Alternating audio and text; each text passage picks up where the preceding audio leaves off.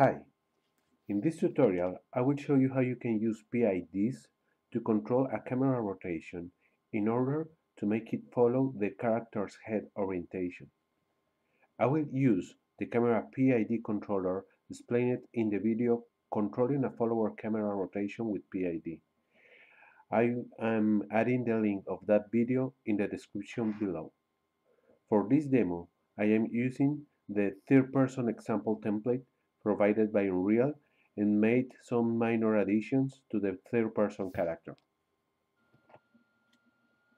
Here I have uh, the third-person example template that is provided with Unreal. In this um, project, I made uh, some modification in order to have a camera that will point uh, to the same direction as the head rotation. So in third person uh, BP in blueprints you will find the third person character.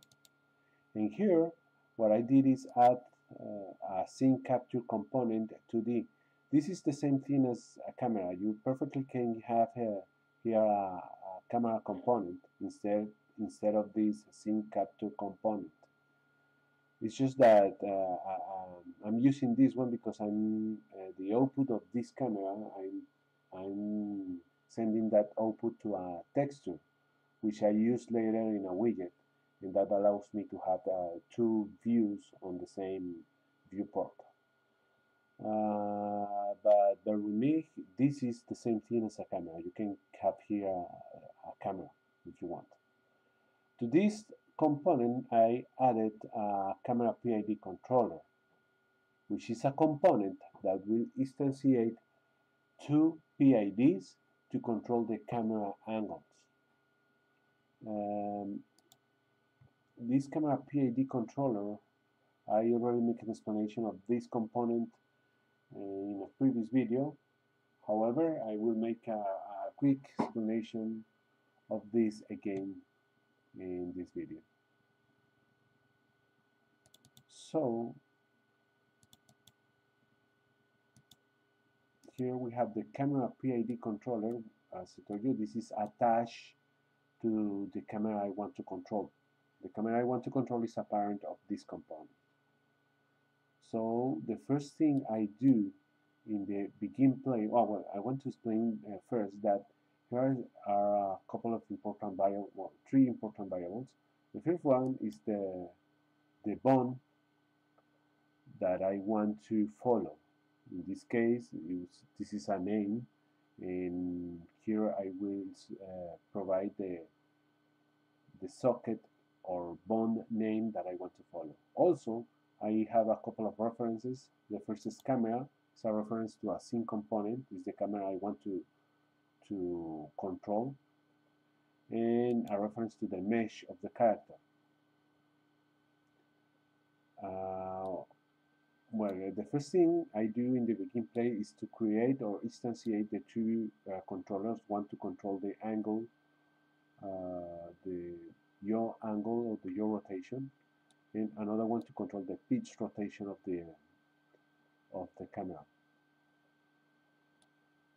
After that, the next thing is to initialize the values on the each PID.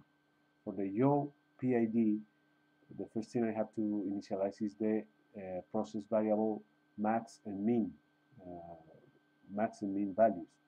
Since this is an angle, uh, well, I want this angle can var the variation could be between minus 180 and 180 positive.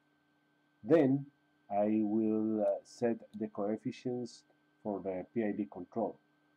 This kind of control uh, only needs a proportional uh, component so I will use only uh, p coefficients and the value is 20 I arrive to the value with with try and error. I start with 1 and 20 I found uh, provides a good response in terms of speed.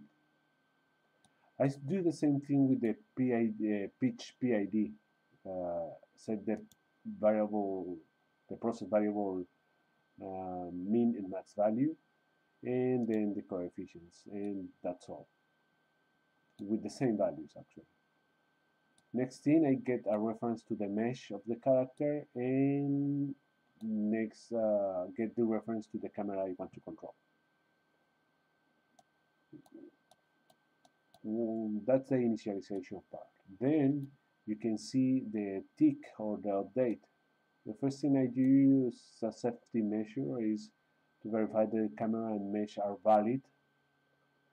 Then using the mesh and the bone or socket name I get the rotation of that bone, in this case will be the head and then I, re I retrieve the, the vector that is pointing to the front of my bone, in this case to the front of my head.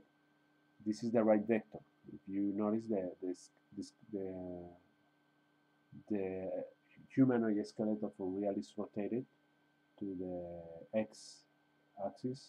So that's why I get the right vector. This is the vector that is pointing pointing forward after. Then that will be that will be my my bone direction my head direction. I use that uh, in this function that you can uh, um, you can read by yourself or following the blocks what this function does is to compute the uh, yaw angle and the pitch angle that my camera has uh, to the actual target. So that's the current angle that I have to the target. And then those two values that are my my uh, process variables, I want them to be zero because I want to point exactly to the same direction that I'm passing here, the same direction that my bone, my bone has, my head has in this case. So I take the yaw rotation, pass it uh, as a process variable to the process PID. Again, I need a, I want to uh, arrive to a value of zero, so that will be my reference. And with the yaw PID, uh, process that PID and that will give me a, an output, a yaw uh, angle that I have to uh, add to my camera to point to the same direction. I do the same thing with the pitch PID.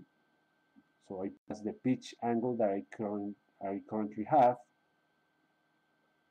I want a reference of zero. I want to write a, a zero value there. And that will give me an output that I, have, I will have to rotate uh, in my camera to point to the same direction.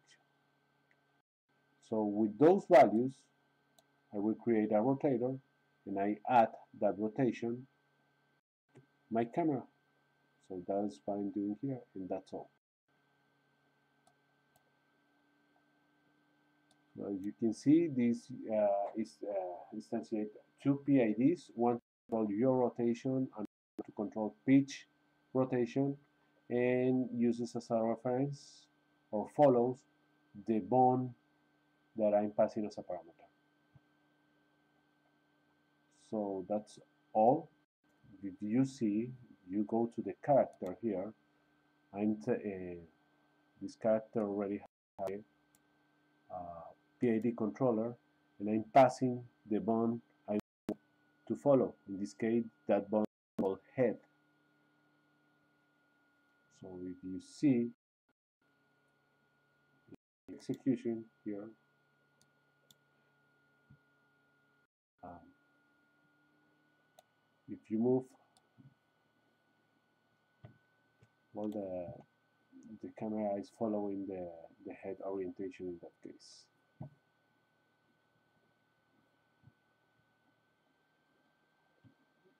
Also well this if you can see these uh, the animation uh, artifacts are filtered out because I'm following the rotation of the head and that filters out all the translate the translation of all the the uh, all the change of the position related to the animation.